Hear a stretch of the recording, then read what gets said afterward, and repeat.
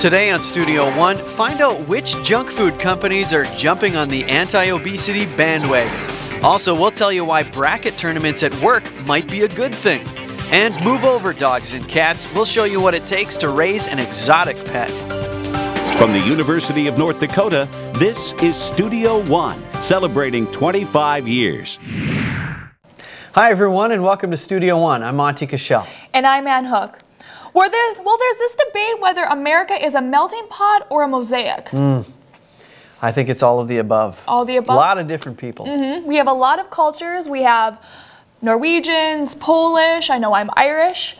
But there is this correlation between our ethnic identity and success in the classroom. Okay. Mm -hmm. We're going to hear more from that from a professor of psychology, and she's going to talk about her research with that project. All right, excellent. We'll listen to her talk about that. Also, when many people think candy company, healthy food options might not come to mind. Find out how some corporations are trying to change their image. And taxes are due on April 15th. There are many things to consider when filing. Later we will meet a woman who helps others reach that deadline successfully. Before we get to all of that, here's today's news with Ali Strand. Thanks, Monty and Ann. The Supreme Court began the second day of arguments Wednesday concerning the same-sex marriage debate. Protesters rallied outside the Supreme Court building as two gay marriage cases were reviewed. The court expressed more willingness to address the Defense of, Defense of Marriage Act.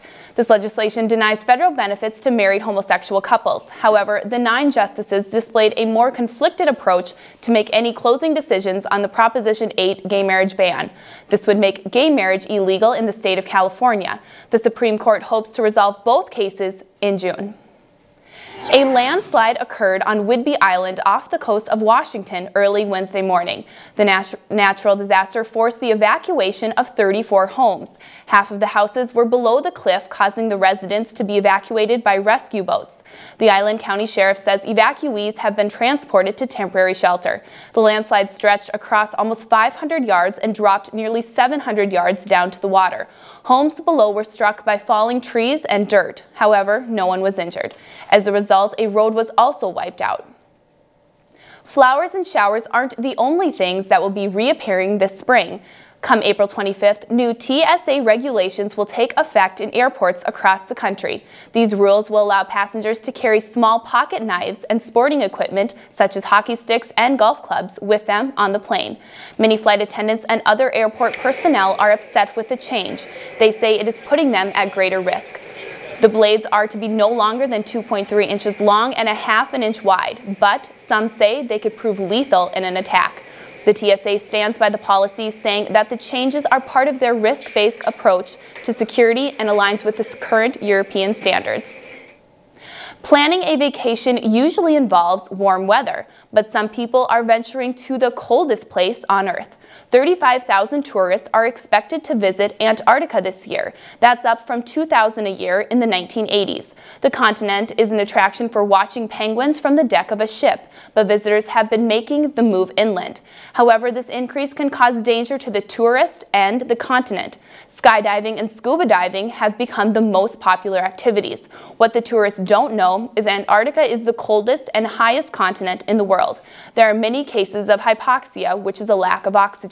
Environmental consultants say boats can pollute water and air, creating the potential for more devastating damage. With the emerging obesity epidemic, junk food companies are tackling this health issue head on, but things aren't as sweet as they appear. Cold, sweet, sugary. These are the words that come to mind when one thinks of soda.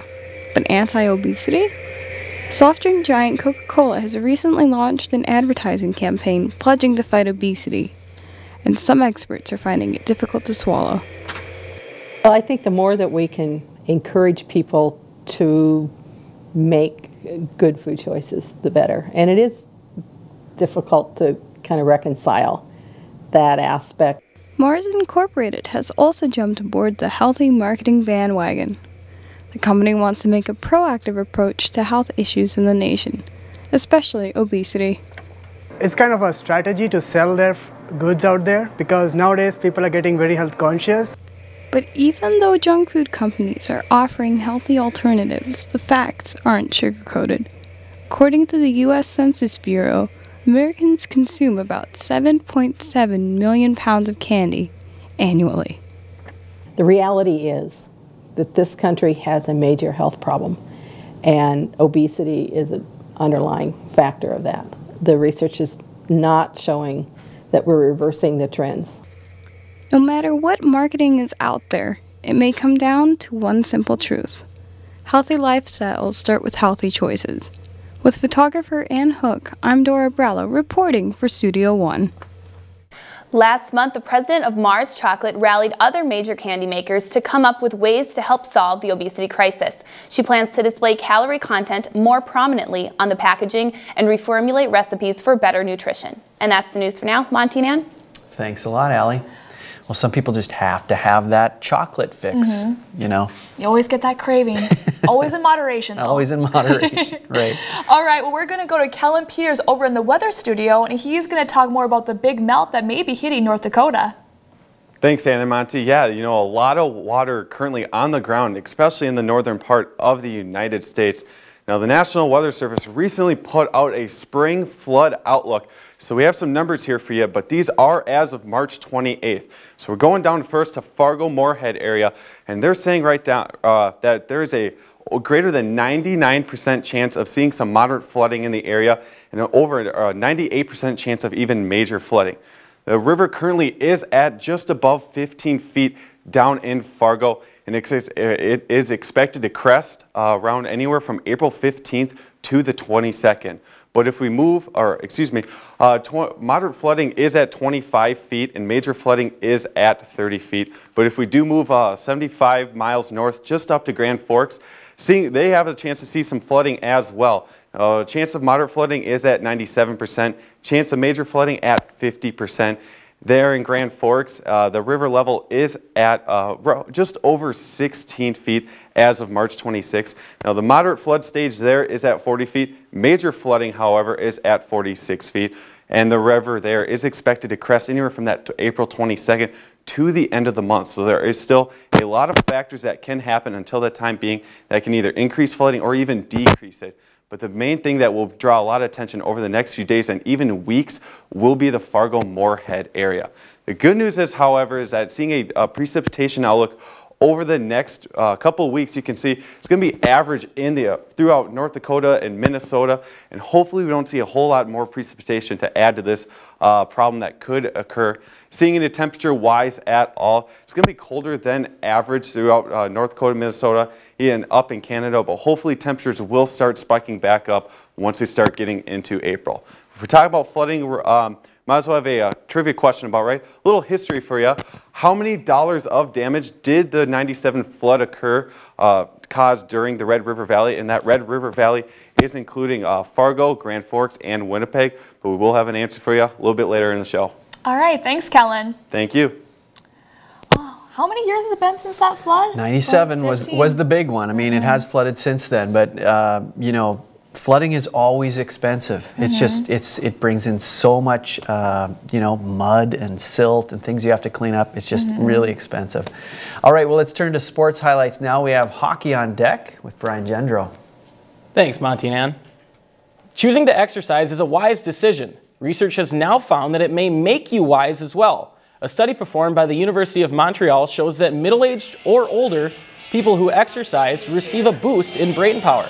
The study was conducted in overweight men who started to exercise regularly for just a few months. They found that it, as their waist shrunk, their mental agility grew. Researchers say the men's brains benefited when the health of their arteries improved. but it just makes common sense. If you're moving, there's blood going to the brain, you know, and, and if you're exercising, there's oxygen also. And so, you know, if you think about it, it just makes sense. The men surveyed performed better on mental tasks, including tests of attention, processing speed, short term memory, and flexibility of thought. It's now time for the Studio One sports trivia question. Who was the last team to win the NCAA men's basketball tournament and then fail to reach it the next year, as the Kentucky Wildcats did this year? You have four choices on the screen, and the answer to that one will be coming up later in the show. That's the sports. Monty and Ann? Thanks for that, Brian. In a new action movie, an unseen enemy threatens human life by taking over their bodies and erasing their memories. A young girl must risk everything to protect those she cares about most. We'll preview that film. Also, the words tax audit can be scary. Next, we will talk to a woman who knows how to avoid an extra note from the Internal Revenue Service.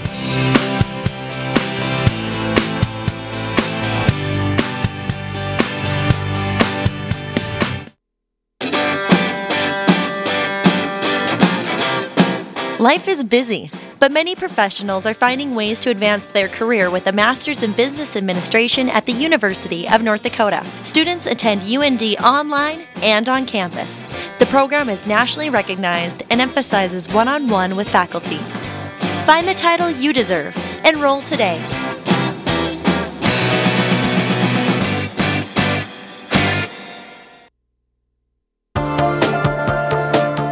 At the University of North Dakota College of Engineering and Mines, classes have real life application. Mentors guide students. Our work improves quality of life by answering tough questions with creativity and innovation. The University of North Dakota College of Engineering and Mines, training tomorrow's engineering and geology experts today.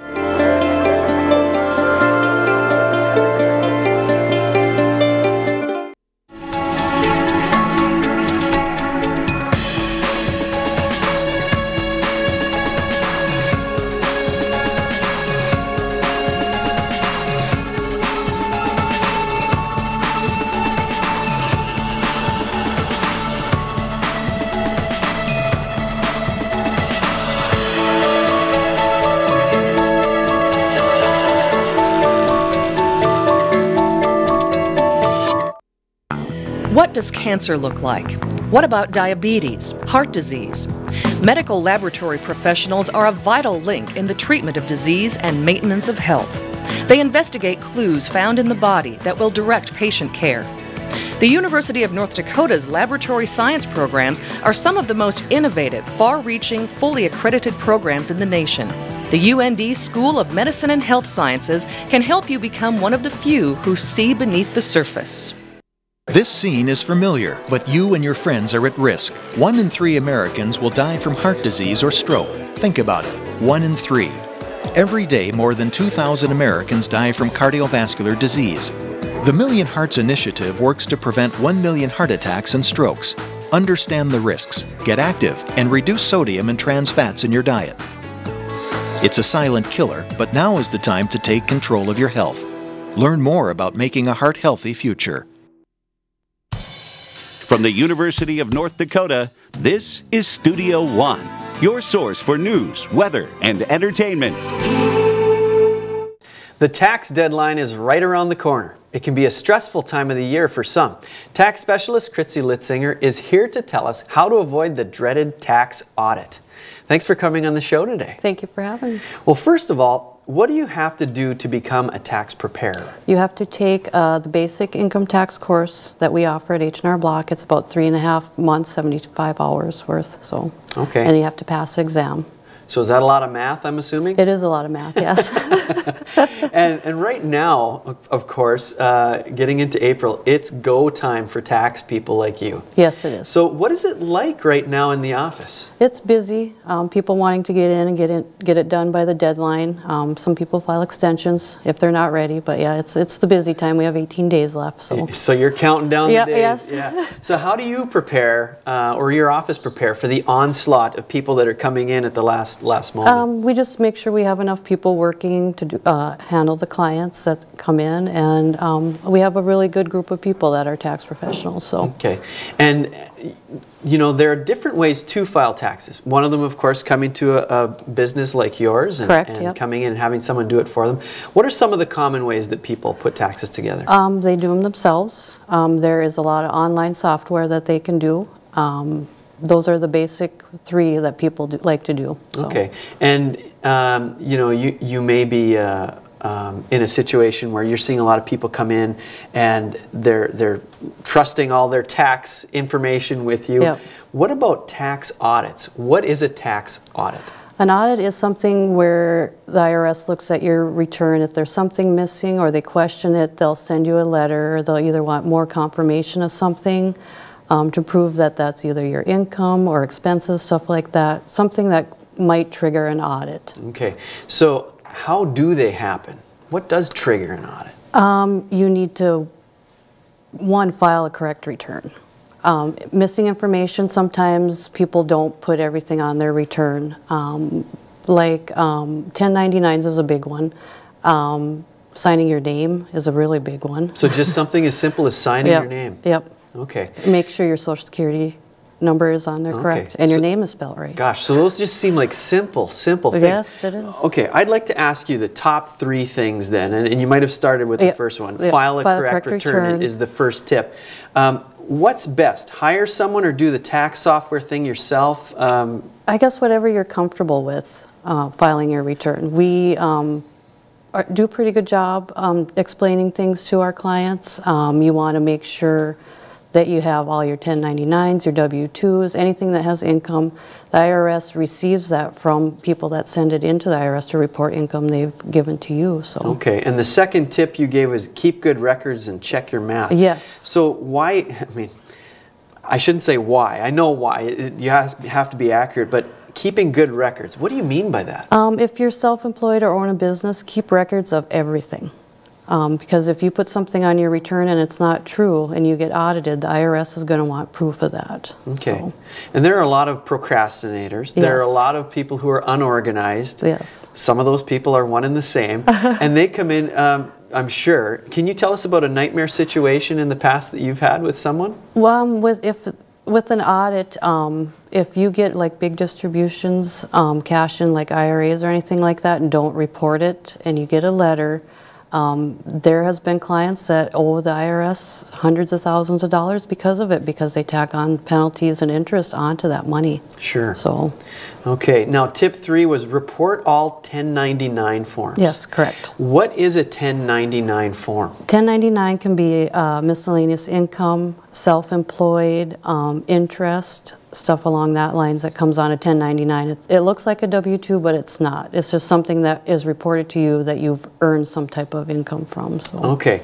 Now, some people I know I've heard have made a mistake on their return, sent it in, and then they get a call back and they say, You made a mistake. Here's where it was.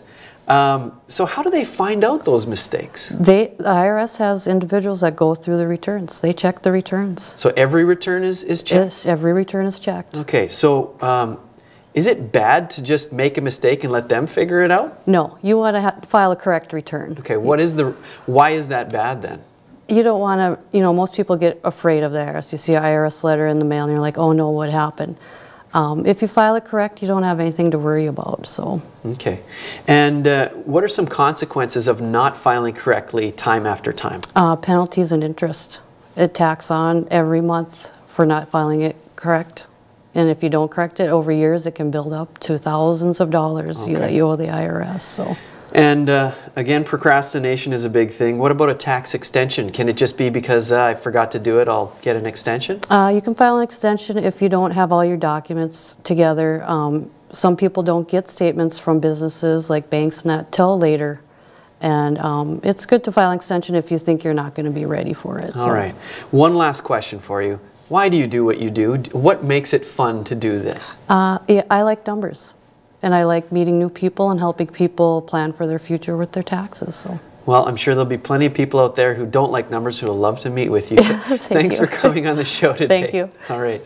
Coming up, every year, sports fanatics take part in March Madness brackets. People from all vocations take a stab at figuring out which college basketball team will end up victorious in the end. Find out how the bracket's reputation in the office is changing. Also, pets are special companions in many families. We'll show you one boy who shares a bond with two unusual animals.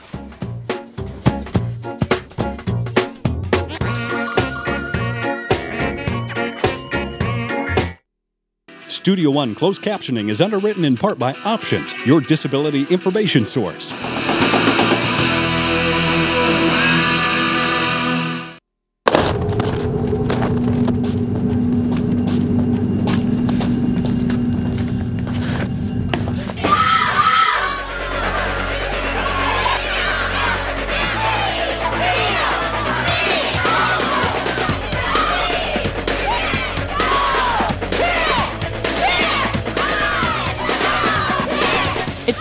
Size of the woman in the fight, it's the size of the fight in the woman.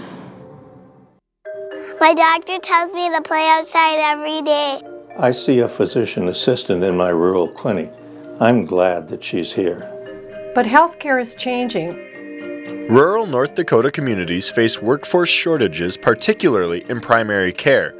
The University of North Dakota School of Medicine and Health Sciences addresses the state's healthcare needs by educating the next generation of healthcare professionals. We advocate for improved health in rural communities. Your future depends on this moment.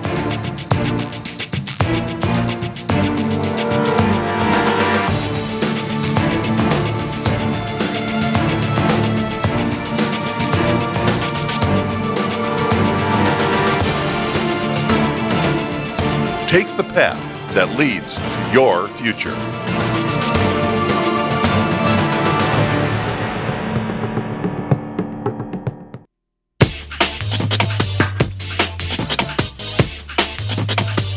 The University of North Dakota is a place where students thrive, where personal connections matter, where classmates become friends, where leading scholars become mentors. Experience our expertise creative, innovative, entrepreneurial, spirited. This is the University of North Dakota. Few people would want to imagine losing everything they love. Twilight Saga worldwide best-selling author Stephenie Meyer is the creator of The Host. The main character Melanie will, will risk everything to protect the people she loves. Parasitic aliens called souls invade the Earth. They take over bodies and erase minds. Their goal is to perfect the world they take over. Melanie's body has been inhabited by a soul, but she refuses to let that stop her. The alien parasite begins to see Melanie's memories and eventually finds a connection with her loved ones. Melanie is trapped inside an alien's mind who speaks to her mentally. They keep hope of finding the other a humans in her soul group. is inserted into a body, the human kind of vanishes, they, they disappear, they go away. But Melanie does not because she's very strong and she's very tough and very stubborn. In the film, the unaffected humans must take shelter in a refuge. This refuge was filmed in the northwestern New Mexico desert near a geological formation known as Ship Rock. Filmmakers had to recreate the structure to form an elaborate community. The host opens in theaters March 29th with a PG 13 rating. Now it's time to look at the events happening in your area.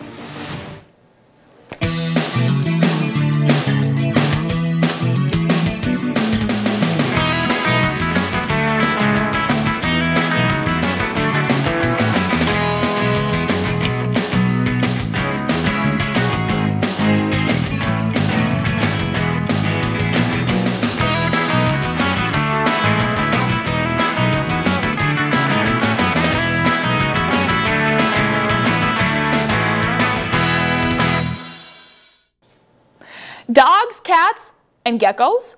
One of those things do not belong. Some people want more than ordinary pets. We visited a home where not so cuddly is the norm.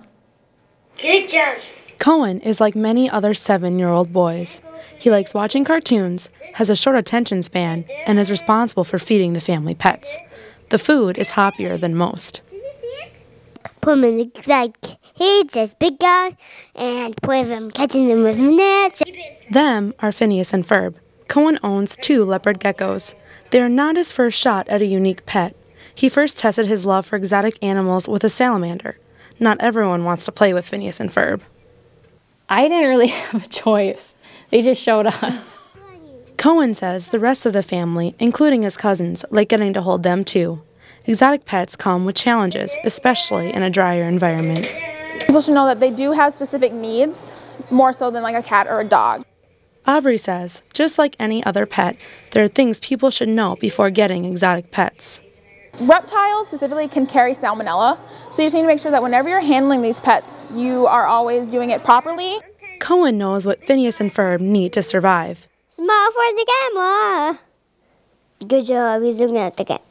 So he can continue to be like any other seven year old boy with not so ordinary pets. I'm Jamie Eckert reporting for Studio One. With cold-blooded animals, thermal lamps and spray bottles are needed to keep them healthy. There are about 900 species of geckos. They can live to be more than 10 years old. Lucky for Cohen, not so for the grasshoppers. Coming up, always winter and not ever Christmas seems to be the theme in the Midwest. Find out how the lingering snow and cold could be a good thing.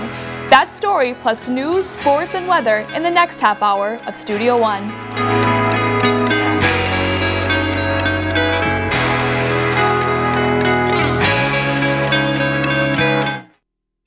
Closed captioning for Studio One is underwritten in part by NDAD, helping others to help themselves.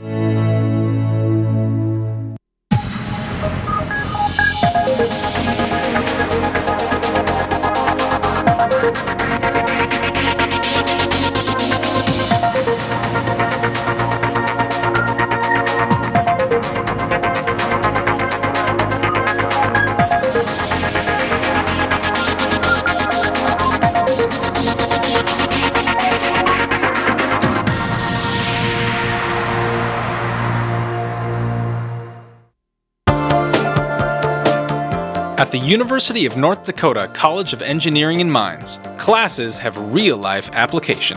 Mentors guide students. Our work improves quality of life by answering tough questions with creativity and innovation. The University of North Dakota College of Engineering and Mines, training tomorrow's engineering and geology experts today.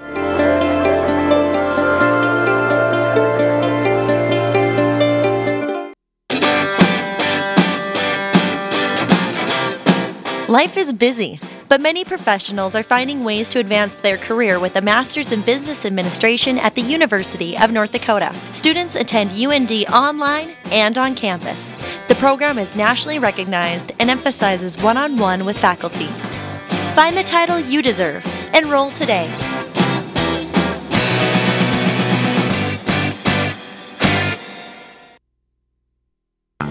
What does cancer look like? What about diabetes, heart disease? Medical laboratory professionals are a vital link in the treatment of disease and maintenance of health. They investigate clues found in the body that will direct patient care. The University of North Dakota's laboratory science programs are some of the most innovative, far reaching, fully accredited programs in the nation. The UND School of Medicine and Health Sciences can help you become one of the few who see beneath the surface. From the University of North Dakota, celebrating 25 years, this is Studio One. Welcome back to Studio One. Thanks for joining us today. Well, a lot of people with their families like to collect a little bit of money, a little bit of vacation time, and take a family somewhere, somewhere Mhm. special, right? And uh, Family Fun magazine actually did a survey, and they wanted to know where the best family vacation destination was. Yellowstone National Park came out Really? on top. Is it just because they want to see the Great Geyser? Well, Or- you know, it didn't say that, but what it did do is it pointed out that a lot of the top destinations were outdoor activities. Mhm. So we went out and asked people what their favorite uh, destination was, and their answers are coming up in the next little bit. Also, in the next 30 minutes on Studio One, several states have laws that protect underage drinkers from getting in trouble with the police if they seek medical attention. Minnesota might be next. Find out the pros and cons of medical amnesty. Also, acting is one of the many talents a person can have. We'll talk to two women who share their love of theater with the community. And our cultures help shape who we are. Later, we will learn how our ethnic identity can be tied to academic achievement. But first, here's today's news with Ali Strand. Thanks, Monty and Ann. Instead of the usual hustle and bustle of traffic, Chicago streets were filled with teachers this week. Hundreds gathered to protest plans to close 54 schools and consolidate 11 others. The Chicago Public Schools make up the nation's third largest school district. Officials have spoken out saying that many of the city's schools are underused and under-resourced. They say reducing the number of schools and condensing students would allow for a higher quality education with access to better resources. Chicago Teachers Union President Karen Lewis argues that reducing schools won't allow for community and parent involvement. Mayor Rahm Emanuel appears to be holding his ground, saying the time for negotiations is over. The plan will be brought in front of the Board of Education for a vote in late May and is expected to pass. Amanda Knox is expected to go on retrial six years after the murder of her roommate. Italian Supreme Court judges ruled Tuesday she would stand trial again. She and her boyfriend had been found guilty in 2009, originally after the court tried her the first time. However, in 2011, she, the convictions were overturned and she returned to the United States. There's a possibility of her being extradited to Italy for the new case. During the past decade in the dieting world, eating gluten-free has become the new fad. What started as a way for people suffering from celiac disease has now become a normal diet for many Americans. Celiac is a condition that makes digesting food with gluten difficult. A market research group called NPD continually tracks issues facing consumers, such as dieting and nutrition, on a biweekly basis. In January of this year, they reported that one in every three adults claimed to cut down on gluten or avoid it completely. Because of this new trend, many restaurants accommodate to this diet.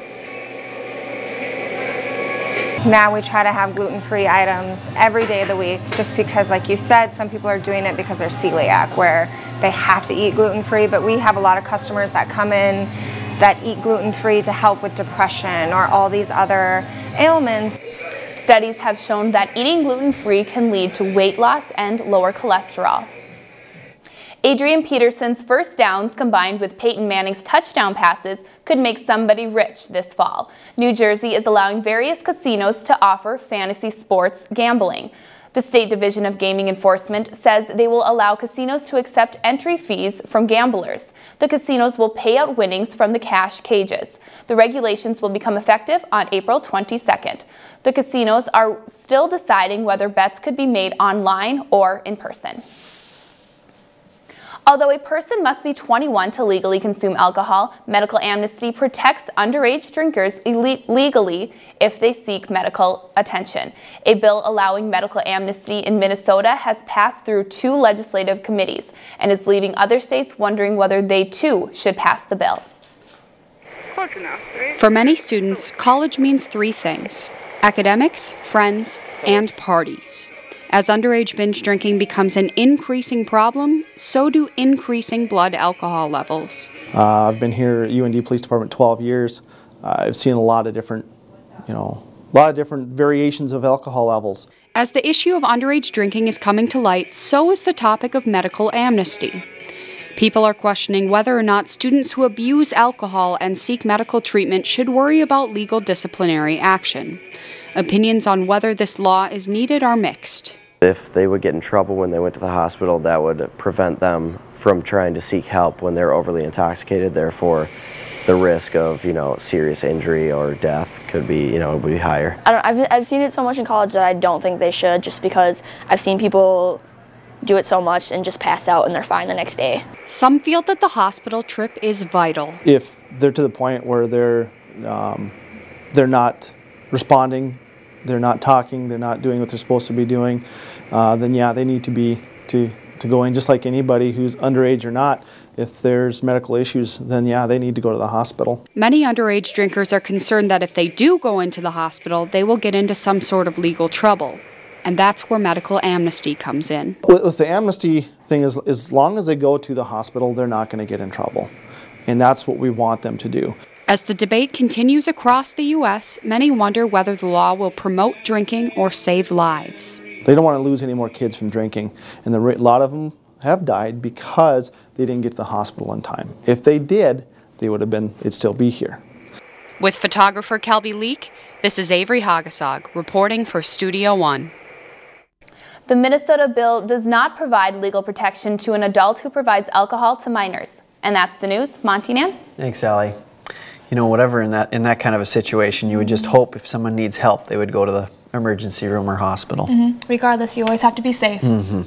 All right, we're going to go one last time to Kellen Peters over in the weather studio, who's going to talk about some out of season weather over in St. Louis. Yeah, thanks, Ann and Monty. Yeah, we're almost into April and we're still talking about snow. It's exactly what happened in the central part of the United States. Down in St. Louis, nice Colorado low system swept through the area earlier this week. Uh, really just put a burden on the roads. Uh, crews for uh, Missouri Department of Transportation was working around the clock, had over 200 cars out in the area. You can see that's uh, St. Louis's International Airport. They had over 100 flights canceled and create uh, people to be stranded at the airport until they could find uh, alternative travel arrangements. So quite a lot going on in the area. So if we go down to the central part of the United States, showing exactly what happened in St. Louis, this purple area right here, this is the area mostly affected, anywhere from 12 to 14 inches in the area. However, just north of St. Louis, 14 inches was your winner uh, with the greatest snowfall total that did occur. Now, there were two recorded deaths uh, during this storm that happened from uh, uh driving accidents, and the storm did continue to move out east into Illinois, Springfield, Illinois, and out east, and they got uh, large amounts of snow as well. But when we're talking about all this snow and stuff, it seems to maybe uh, put a bad mood into you, but for when it comes to some farmers, they tend to stay a little bit more optimistic. Many people have been complaining about the long and snowy winter, but it can be a positive thing. Farmer Jay Ross says that the snow is actually helpful for his crops. One benefit is uh, for all the beets we got piled at the sugar beet plant, a good long season, cold, helps them store a lot better and gives the factories enough time to process them. Not only does the snow help the processing of crops, it also helps make the soil able to grow them. Well, I'm sure glad to see the snow this year because it's so dry out there and um, it'll, we need the subsoil moisture, so the snow will help soak in and rebuild that subsoil moisture. Last year, the fourth warmest winter on record actually caused dry soil for this season's crops. Uh, last year was very uncommon, and I believe we started planting ourselves on April 4th last year. So um, doesn't look like we'll be in there that early this year. So while the majority of the population criticizes all of the snow and the negative temperatures, many farmers see it as a positive. With photographer Alex Stadnick, I'm Tasha Olson reporting for Studio One. Brings us back to our weather question of the week for the historic 1997 flood that did occur in the Red River Valley. How much uh, flood damage did it occur? Anywhere from 2 billion, 2.5 billion, 3 billion, or 3.5 billion dollars. Answer is D, 3.5 billion dollars. So quite a large amount of money stretching all the way from Fargo up to Winnipeg. All right, well hopefully we don't have that much damage this spring, Kellen. Yeah, hopefully not. All right, thank you. Thank you. Yeah, the uh, the cost with flood. It's always something that you have to think of too. And, and even flood fighting is very mm-hmm. expensive as well. All right, it's time to turn to sports one last time with Brian Gendro. Thanks, Monty and Ann. It's that time of year again. March Madness is hitting the nation by storm. Companies have said in the past that it's decreased productivity at work, but that may not be the case. Most of us during the day uh, will check stats, live updates, via internet or on our cell phones rather than having a TV to actually watch the game. A new study from Office Team says that some managers feel that March Madness can be a positive for the work environment. Some employees found new ways the tournament can benefit their workplace.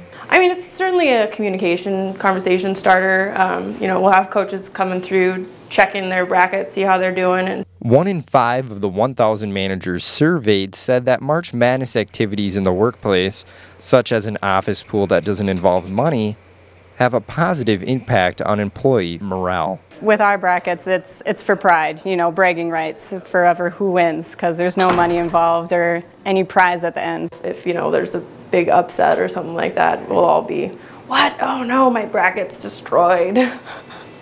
The odds of having a perfect bracket is over 9 quintillion to 1, but fun in the office is guaranteed. Reporting for Studio One, I'm Kyle Searockers. 75% of managers surveyed don't feel that March Madness activities have any impact on their business. Now, the answer to this week's Studio One Sports Trivia question Who was the last team to win the NCAA men's basketball tournament, then fail to reach it the next year? The answer is B, NC State, and that was the team that Jim Valvano led to the championship in 1983. That's your sports. Monty and Ann? Thanks, Brian. When you hear the word vacation, you may think of the crazy Griswold family from the familiar National Lampoon movies. Many real families take a vacation once a year to a destination of their choice. We wanted your thoughts on the favorite on your favorite family vacation spot and your answers are still to come. Also, acting is a way we can express ourselves through different characters. We'll show you two women who express their love of acting by sharing their knowledge with others.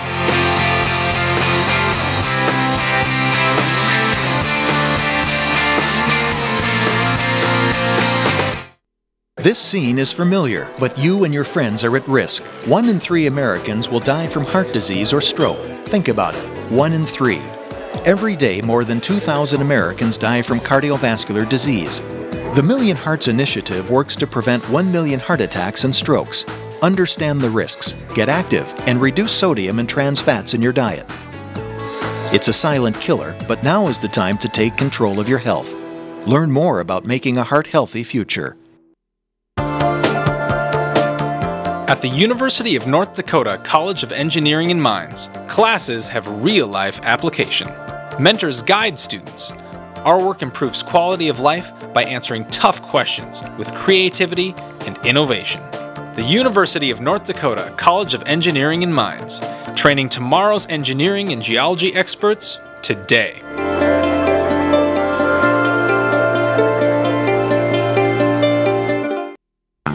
What does cancer look like?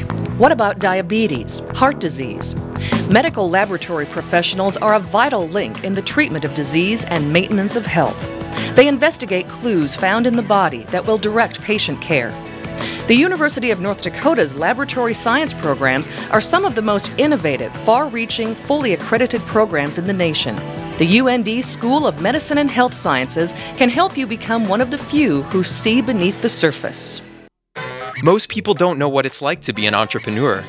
My time clock is around the clock. My ideas are fresh, but they need research and development. My business plan includes marketing strategies, legal documents, and a budget. My startup became possible through mentorship, hands on experience, and learning from experts in the field. The Center for Innovation has contributed to more than 400 University of North Dakota student startups. Come with an idea, leave with a business. Celebrating 25 years. You're watching Studio One from the University of North Dakota in Grand Forks. There would be no theater without actors. However, more than good acting is needed to make a performance successful. Curious community members gathered to learn from experienced theater enthusiasts. Come on in. Hi. Nicole started off singing. However, once she went to college, she decided to make a transition.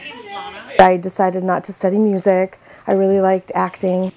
Nicole has a theater arts degree from the University of North Dakota. Her education and experience has provided her with a unique skill. There's constantly people wanting to give theater a try and they need to learn things like makeup and I can teach Okay, people how to do that. we're going to take the highlight color. Although she receives no profit for her time commitment to acting, she says she finds satisfaction in doing what she loves. It's my passion, it's what I do. Nicole has been in many community theater productions and says that diversity is key. You would not believe how much you need a variety of people to put on a community play. UND Theater Department Assistant Professor Emily Cherry also believes in community theater. It's never too late or too early. Uh, it's it's something that's important for our community, and it's uh, a fun way to get involved, meet new people, try new things. She also says new experiences can be enlightening. It doesn't matter uh, what career you have, you can always do theater or appreciate theater or, or get involved.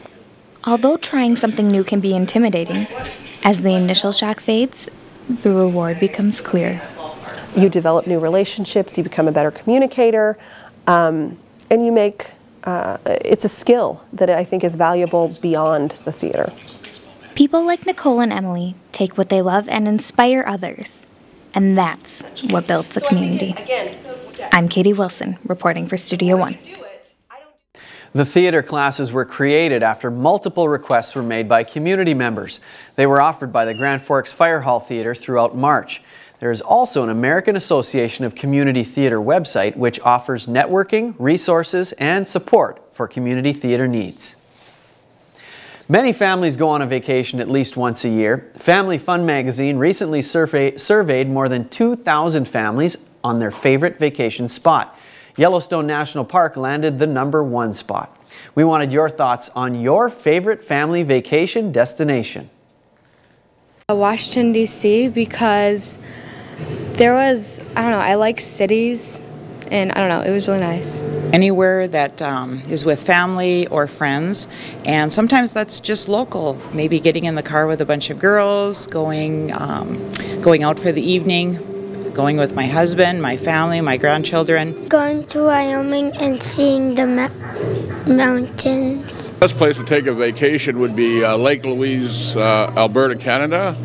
And what it is, is uh, you have a uh, lake on top of the mountains. Snorkeling in Grand Cayman because I like the ocean and it was warm. Well, we went to Mall of America and then we stayed in this big hotel with all the these water slides that were really tall and it was fun. We went to Australia three years ago and it was fun because it was everything was way different than around here. A comment from our Facebook page from Oslo, Norway. Guru says, Hemsedal, Norway, with family and friends. We are on our way home from our mountain lodge. The weather has been fantastic and the cross country conditions super. Also, Cody from Fargo, North Dakota said, Fort Ransom, North Dakota. Camping in tents, walking trails, bonfires, lazy river kayaking, canoeing, a little fishing, thunderstorms. Is it summer yet? Still to come. College can be difficult with late night studying and early exams. Next, we will talk to a researcher who says a college student's ethnic background intersects with success in the classroom.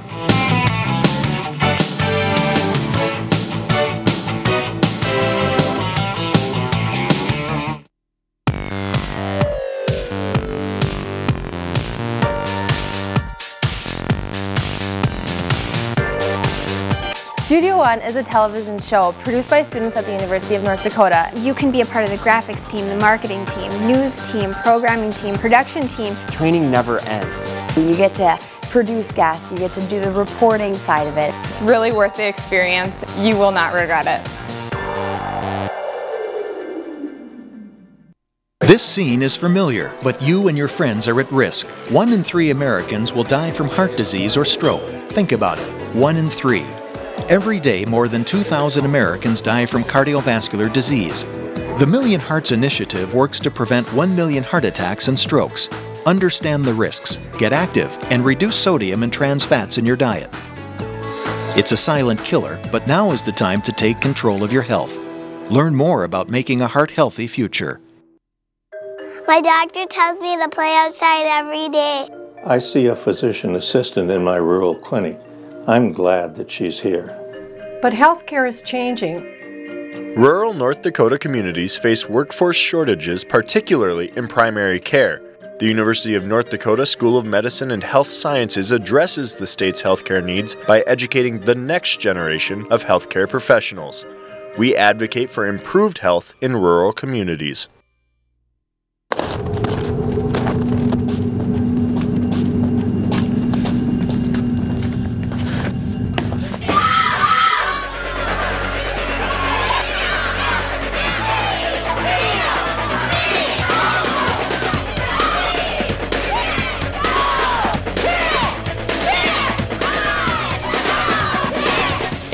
Size of the woman in the fight, it's the size of the fight in the woman.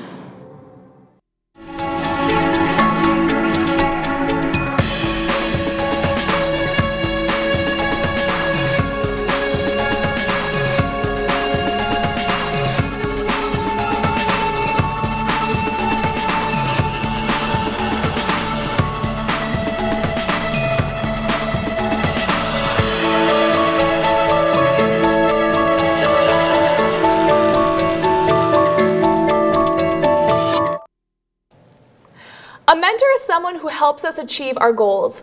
They encourage us to strive for success in the classroom as well as our careers.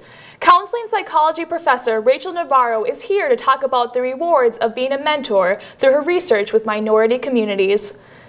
Well, thank you so much for being on the show today. Thanks for having me. Okay, to start it off, how did you become interested in this field of research?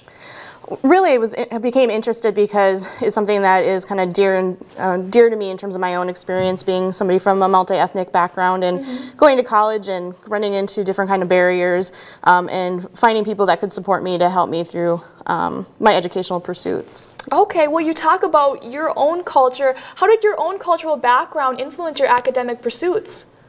I, I think being um, a multiracial person and being somebody who um, came from both a Czechoslovakian background and a Puerto Rican background was really interesting to other people, and so I started becoming kind of interested in that aspect of my life and how that affects academic success, and so then Mhm. interested in how other people's experiences um, in terms of being multiracial or from other oppressed cultural groups and how they um, experience the academic environment. Okay, so kind of redirecting back to your own research, what are the cultural variables you are studying? Um, I'm studying a slew of cultural variables, um, mainly like ethnic identity, um, acculturation, um, enculturation, cultural values such as uh, personalismo, familismo, those sorts of things within predominantly um, Latino groups. hmm What is the focus of your research? I am looking at um, the persistence of Latinos and whites in STEM fields like science, technology, engineering, and math, and right now really focusing on engineering and how cultural variables and personal variables, as well as social cognitive variables, influence persistence in engineering Mhm. fields. Well, in America, we do have a lot of people with ethnic cultures. We have Norwegians, and you're saying Czechoslovakian. What minority group in particular do you focus your research on? Most of my research, like I said, is really with Latinos, um, the primarily with Mexican Americans. I've spent a lot of time in the Southwest, where there's a predominantly Mexican American um, community, and so a lot of my research has been done there. hmm What is the process of your research? How do you actually meet with a student and you collect your data? Uh, we do both quantitative and qualitative research, and so we do a lot of um, online surveys of the engineering students right now, and then we call them and ask them to come and do like one-on-one interviews with some of our research assistants around their experiences within engineering. hmm Well, I can only imagine the close bond you create with the students that you mentor. You know, what kind of re, uh, relationship do you have with them? How close do you get with them? Um, fairly close. I, one of the values that I hold really dear is personalismo and having a real personal yet professional relationship with my students. And so really getting to know them as people and what their needs are as people as well as what their needs are professionally and being able to provide them the kind of support that they need to uh, pursue the kind of careers that they want to pursue in the future. Mhm. And so I have a handful of students that I feel really very close to and have been able to help in terms of their success in the field. hmm Could you give me an example of a student that has been successful, which you have mentored? Sure, sure. Um, actually, I have uh, one in mind who actually has uh, graduated. Her name is Dr. Cynthia Guzman. She's actually in Albuquerque, New Mexico, and she's um, a postdoc and she's working on the Laguna Pueblo. I think it's the Laguna Pueblo.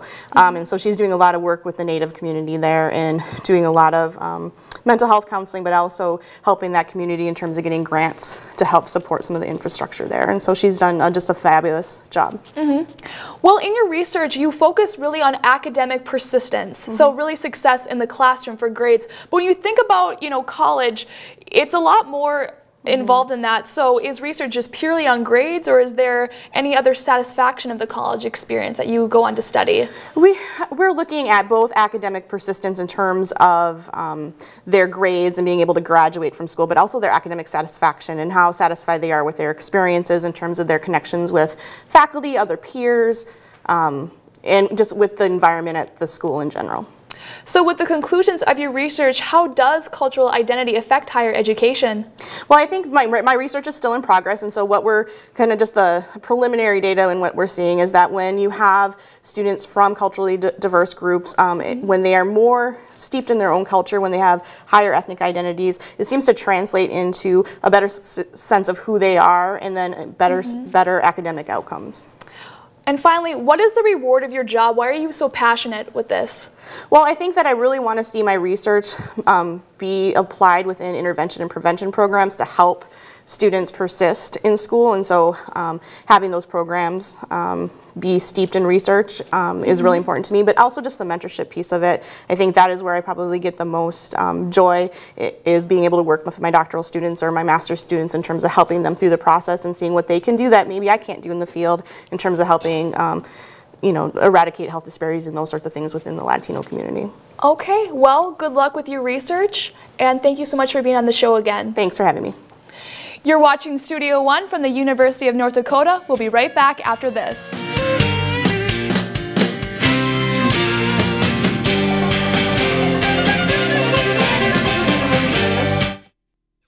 Closed captioning for Studio One is underwritten in part by NDAD, helping others to help themselves.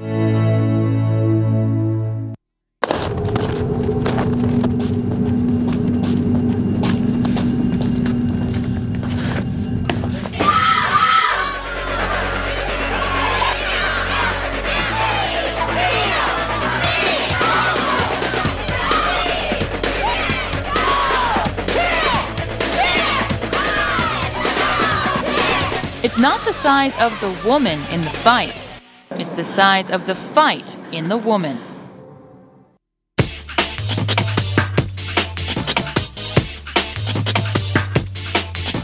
The University of North Dakota is a place where students thrive, where they learn from leading experts, share in discoveries, and create knowledge.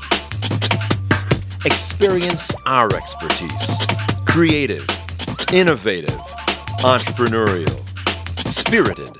This is the University of North Dakota. Most people don't know what it's like to be an entrepreneur. My time clock is around the clock. My ideas are fresh, but they need research and development. My business plan includes marketing strategies, legal documents, and a budget. My startup became possible through mentorship, hands on experience, and learning from experts in the field. The Center for Innovation has contributed to more than 400 University of North Dakota student startups. Come with an idea, leave with a business.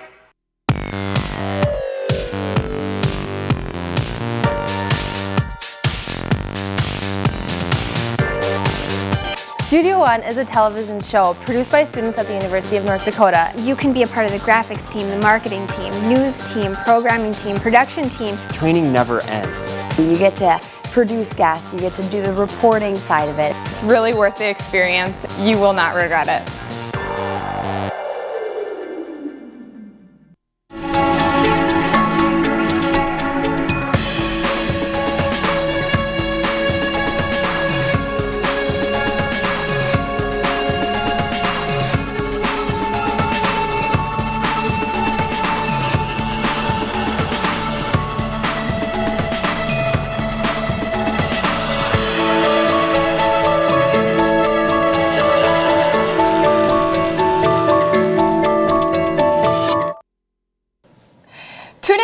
Week on Studio One. Vinyl records are making a comeback. We'll show you one man with a special vintage collection. Plus, we'll have other news and entertainment stories for you. We're going to leave you now with pictures of art in an urban setting. From all of us here at Studio One, have a great week.